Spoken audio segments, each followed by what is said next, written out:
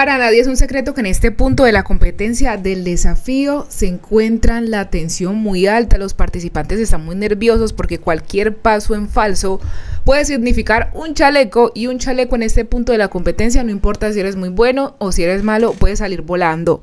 En este capítulo del lunes veremos una prueba de contacto, parece que es la prueba donde los participantes encuentran unos cojines, tienen que buscarlos y luego ir y mostrar a ver si encontraron el adecuado, el que mostraron primeramente en la pantalla. Lo cierto es que esa prueba siempre es complicada porque los participantes se mechonean, pelean.